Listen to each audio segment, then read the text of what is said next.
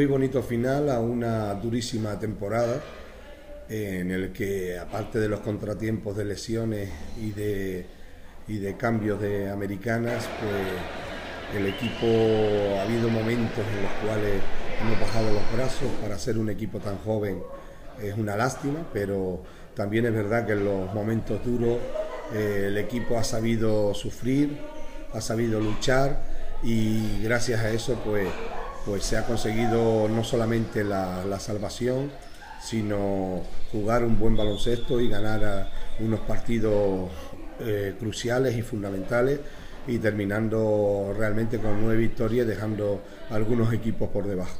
Era, era realmente hoy era un partido muy difícil, muy difícil porque eh, hay mucha gente con la mente en el viaje de mañana, con la mente fuera.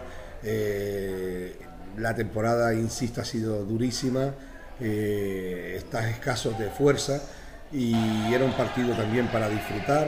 Yo creo que ha disfrutado bastante más el público que, las propias jugadoras, pero, pero ha sido un partido de ataque, partido donde eh, hemos sabido mantener o hemos sido un poco más regulares en, el ataque que, el equipo contrario y, hoy por fin demostró Patricia Cabrera que es la mejor tiradora de España, eh, ha estado realmente muy acertada y a pesar de la durísima defensa que tuvo en la segunda parte, pues fue capaz de mantener muy abierta esa defensa y, con lo cual pues había bastante más huecos para Robin que también ha demostrado que es una grandísima jugadora y el resto del equipo. Yo creo que eh, en este caso hay que felicitar eh, a las que juegan muy poquito, porque para que Patricia juegue al nivel que ha jugado o Robin juegue al nivel que ha jugado, eh, tienen que trabajarlo durante la semana y enfrentarse todos los días a María, a Vineta, a Naira, a Ida, a cuando estaba Iris, y, etcétera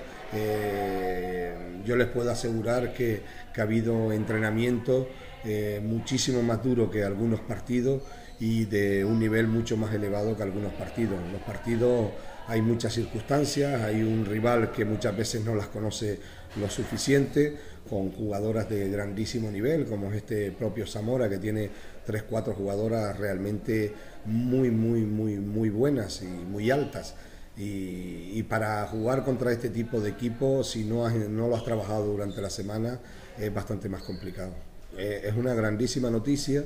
Eh, yo vengo repitiéndolo todo el año y el tema es que ahora mismo hay jugadoras de un grandísimo nivel, pero quizás su autoestima o su valoración personal no, no, no contrasta con lo que en realidad es. Eh, ella es una tiradora excepcional lo ha demostrado hoy. Ya ha habido un campeonato de España también que metió 10 de 12, eh, en el que fuimos campeones en, la península.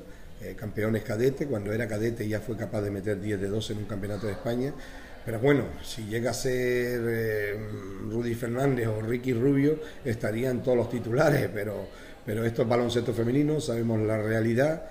Estas niñas hacen un grandísimo esfuerzo eh, hay que meterlas, ¿eh? y hay que meterlas con defensa además. Eh, vale, no tiene la condición física del baloncesto masculino, no hay mate, pero realmente hoy ha sido un partido para disfrutarlo desde la grada y creo que muchísimo público que se acercó hoy, autoridades a las cuales agradezco que se hayan acercado, diputados, consejeros. de, de deportes, etcétera, etcétera. Estoy muy agradecido que se hayan acercado a, a ver el baloncesto que desarrollan estas chicas que, hacen un gran trabajo y un gran sacrificio durante toda la semana para, para conseguir que el, que que se acerque a verlo disfrute con el baloncesto como ha sido el caso de hoy.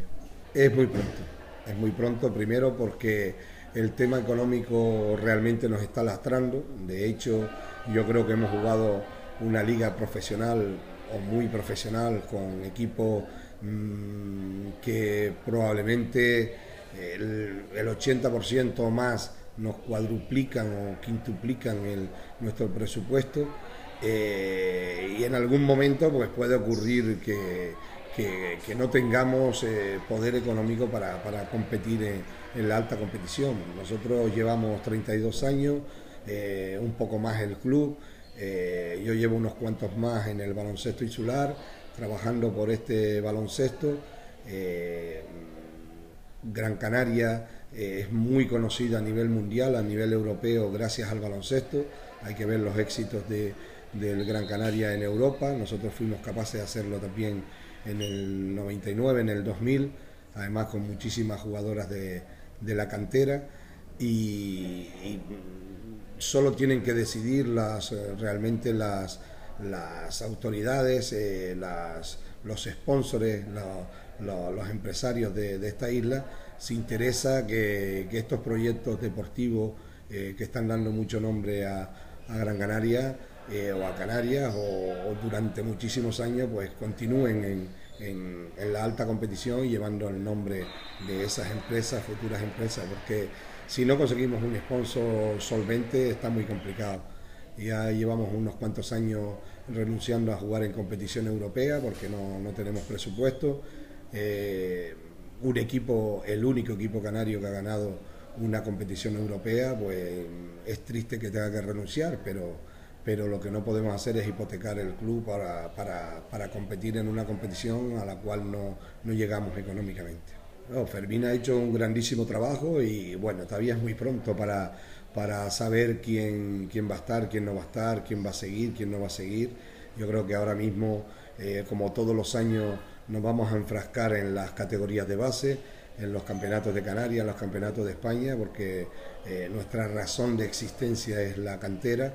Eh, ahora mismo tenemos tres, cuatro jugadoras que se van concentradas con las selecciones nacionales y esperamos que triunfen ahí. Hay un verano larguísimo y lo primero que hay que hacer es estabilizar económicamente el club. Cuando tengamos estabilizado empezaremos a trabajar con, vistas al primer equipo del año que viene ya veremos quién lo entrena, quién, quién ayuda, quién no ayuda, quién, a quién podemos fichar, quién sigue, quién no sigue. yo creo que es muy pronto para tomar decisiones